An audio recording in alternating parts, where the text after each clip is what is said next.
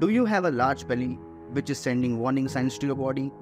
If yes, then this could be the sign of a fatty liver disease, medically termed as hepatic steatosis.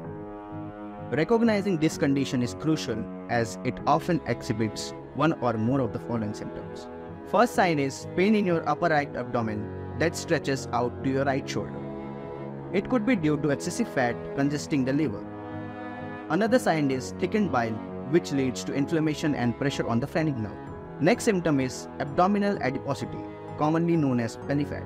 In such a case, fats get accumulated in the liver and spreads to the visceral and subcutaneous areas, increasing the risk of heart attacks. Going forward, we have pain in the ribs, also known as costochondritis.